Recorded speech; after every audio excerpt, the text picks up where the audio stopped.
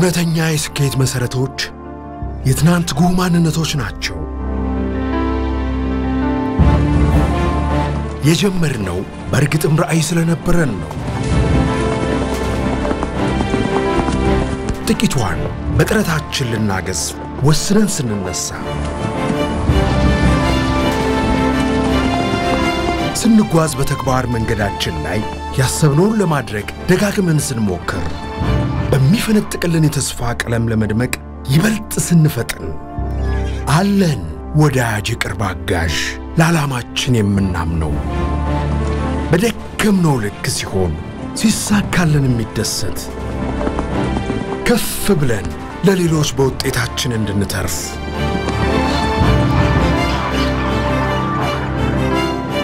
አብሮን የነበረ አብሮን የሚዘልቅ ባንክ ነው።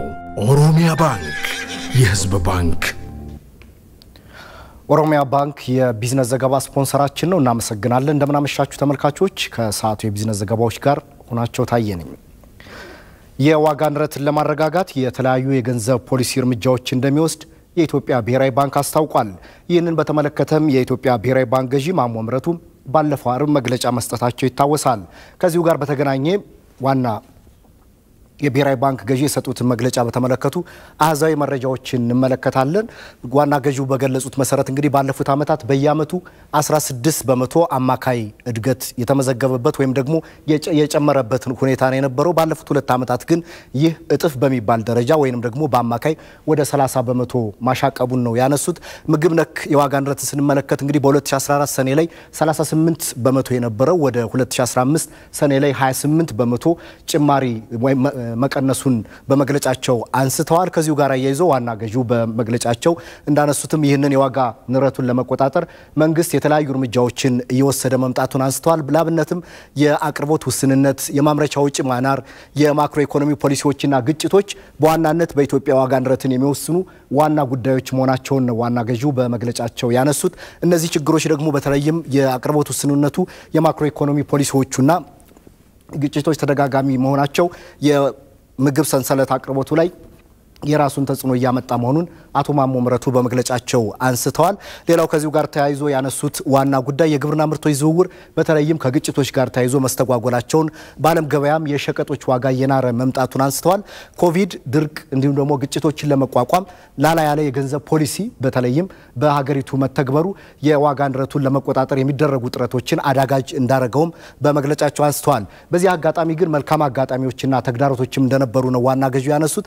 ላብነትም እንግዲህ በዓለም አቀፍ ደረጃ የሸቀጦች ዋጋ መቀነስ አንዱ ጥሩ ጎኑ ሲሆን የነዳጅ ዋጋ ደግሞ በተመሳሳይ መጨመሩ ሌላው ተጽዕኖ እየፈጠረ መሆኑን አንስተዋል። እንደ መፍትሄ የተቀመጡት ግን በዋናነት የግብርና ምርታማነትን ማሳደግ፣ ሁለተኛው ደግሞ ቀልጣፋ የሎጂስቲክስ ስርዓትን መዘርጋት በተለይም ደግሞ ምርትና ምርታማነት ባለባቸው አካባቢዎች እነዚህን በተቀናጀ መንገድ ማቅረብ እንደ መፍትሄ አስቀምጠዋል። ብሔራዊ ባንክ የፖሊሲ የገንዘብ ፖሊሲ እርምጃዎችን ሲወስድ እንግዲህ የዋጋ ንረቱን በተለይም በ2016 አሁን ካለበት ወደ 20 በመቶ ለማውረድ በ2017 ሰኔ ላይ ደግሞ እስከ 10 በመቶ በታች ድረስ ለማውረድ እቅድ አስቀምጦ እንደሚሰራና በዚህም እንግዲህ መንግስት የተለያዩ እርምጃዎችን እንደሚያከናውን አንስተዋል። ከዚህ በተጨማሪ በተለይም የዋጋ ንረቱን ለመቆጣጠር የሀገር ውስጥ ብድርን በ2016 ሰኔ ላይ 14 በመቶ ለማድረስ እንዲሁም ደግሞ ብሔራዊ ባንክ ለመንግስት የሚሰጠውን አሁን ላይ በገፍ የሆነ የገንዘብ መጠን ለመቀነስ እንዲሁም የብድር መጠኑን መቀነስ ዋነኛ የፖሊሲ አማራጮች ተደርገው እንደሚወሰዱም የብሔራዊ ባንክ ገዢ አቶ ማሞ ምህረቱ ሰሞኑን ለጋዜጠኞች በሰጡት መግለጫ ተናግረዋል። ወደ ቀሪ መረጃዎቻችን እናልፋለን። በቀሪ መረጃዎቻችን የብሔራዊ ሎተሪ አስተዳደር እንመለከታለን። የብሔራዊ ሎተሪ አስተዳደር የአድማስ ሎተሪ እድለኞች መወዳደሪያ ቲኬትን በዲጂታል ግብይት እየሸጠ ይገኛል። ከዚህ በተጨማሪም አስተዳደሩ ቲኬቱን በዲጂታል ግብይት የሚሸጥ ቢሆንም የእድለኞችን ልየታው ግን አሁንም በተለመደው አሰራር እንደሚከናወን ያስታወቀው ባልደረባችን አገርነሽ አየልኝ ደግሞ ከብሔራዊ ሎተሪ አስተዳደር ኮሚኒኬሽን ዳይሬክተር ቴዎድሮስ ንዋይ ጋር ቆይታ አድርጋለች። ከራሱ አንደበት እንደሚከተለው ይቀርባል።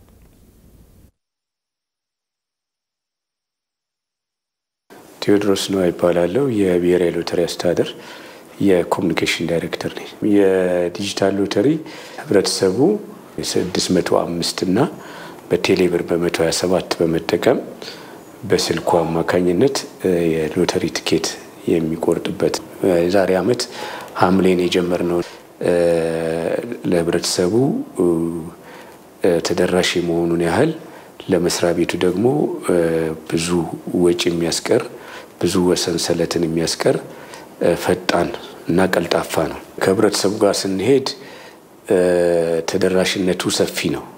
ከበፊቱ በተለየ በጣም ገጠር ይሄዳል። ይህንን ባለፉት ጊዜያት እድለኞች ሲመጡ የተረዳ ነው ነው አፈጻጸሙ ከትርፍ አንጻር ስናየው አጥጋቢ ነው ልንለው አንችልም። ገና መነሻችን ላይ ያለ ነው። ብዙ ወጪዎች ስለሚኖሩ ለምሳሌ አሁን ለደንበኞቻችን ለእድለኛ ብቻ ስምንት ነጥብ ሰባት ሚሊዮን ነው የምንሸልመው። አራት ሚሊዮን ለአንደኛ ወጣ ብለን ጀምረን ሁለት ሚሊዮን ለሁለተኛ እጣ ብለን ስምንት ነጥብ ሰባት ሚሊዮን ነው የምንሸልመው እና ወጪው ከፍተኛ ነው። ከተጫዋቾች አንጻር ግን ከወረቀት ሎተሪዎች ተቀራራቢ ነው። የወረቀት ሎተሪዎች እስከ ሁለት ሚሊዮን እስከ ሶስት ሚሊዮን ነው ተጫዋቹ ያለው እና ይህም ከሁለት ሚሊዮን እስከ ሶስት ሚሊዮን ነው። ከፍም ዝቅም እያለ ነው ጨዋታው የሚካሄደው እና ከጨዋታ አንጻር ጥሩ ነው። ከሌሎቹ በተለየ የማሻሻል ነገሮች ሶስት ጊዜ አድርገናል። መጀመሪያ በሶስት ብር አንድ ነጥብ አምስት ሚሊዮን ብር ነበረ። ከዛ በአምስት ብር ሶስት ሚሊዮን አድርገናል። ከዛ በአስር ብር አራት ሚሊዮን አድርገናል አንደኛው ሽልማትና ሶስት ጊዜ ለማስተካከል ችለናል። ለእኛ የሚቀለው ጣወጣጡን በአንድ ኮምፒውተር ዲጂታል ማድረጉ ነው። ግን እኛ ደግሞ እንደ አውሮፓ አይደለንም ወይን እንዳደጉት ሀገሮች አይደለንም። ስለዚህ ህብረተሰቡ ማየት አለበት እጣውን። ለዚህ ነው ቀጥታን ስርጭት የምናደርገው። ማመን አለበት። አንድ ህብረት አንድ ደንበኛ ሎተሪውን ከገዛ በኋላ የሽያጭ process ኡ ሂደቱ አለቀ ልንለው አንችልም። የሚያልቀው እጣ መውጣቱን አሸናፊነቱን ማወቅ ሲችል ነው።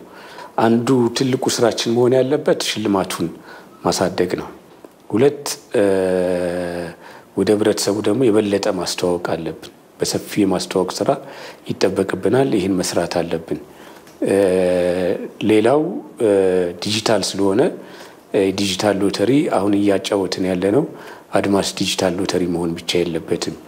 በተለያየ ቅርጽ በተለያየ የጨዋታ አይነት መምጣት አለብን እና ይህንንም ከህብረተሰቡ ጋር ሆነን እያሰፋ ነው የምንሄደው ነው የሚሆነው።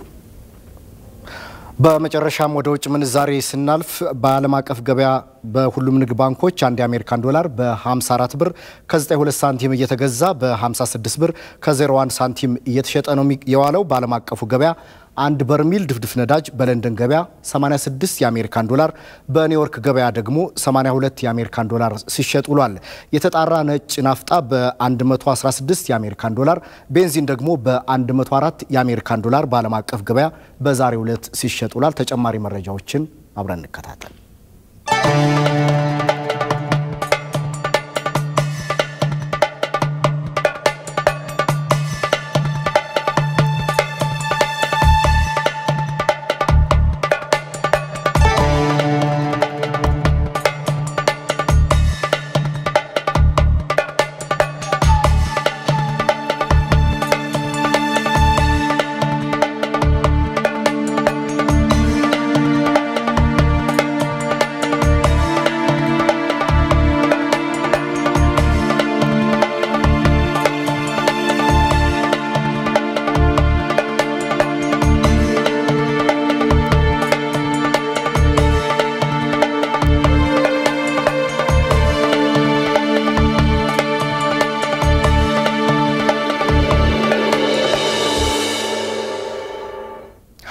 ተመልካቾች ለምሽት የነበሩን የቢዝነስ ዘገባዎች በዚህ ተጠናቀዋል። ሁናቸው ታየ ነበርኩ።